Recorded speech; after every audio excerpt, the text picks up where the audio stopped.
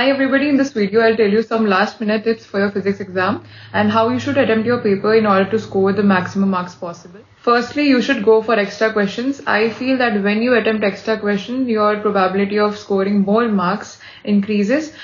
Since uh, the examiner will be marking those questions, he'll be considering those questions in which you have scored the most and that's how your evaluation will be done. Secondly, when it comes to derivations, you have to mention the diagram or the graph, whatever is required. The axis and um, the signs, everything should be labeled in that particular graph or diagram. Then you will derive the derivation. You can also encircle it in a box. For the numericals part, I would advise you to write it in SI form.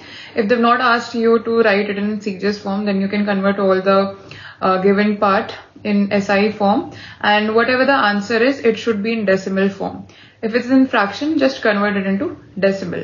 You have to maintain the structure of that numerical. First is your formula, then substitution, and then your answer. And whenever you are answering a question, be it the definition or the theory, you have to mention the keyword. And in case you're not able to answer any question, then you can go for some diagram that you can draw, which is relevant to that question, or maybe um, a graph a definition that's appropriate in that question. So that will help you to fetch marks. Just don't leave the question blank.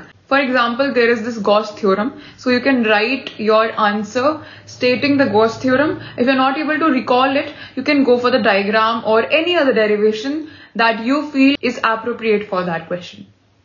And of course, CISC is changing its pattern of questions. So you'll have to clear out your concepts. If you don't have clarity of your basic concepts, then it will be difficult for you to solve those questions. Practice the PYQs and the competency based questions at the end.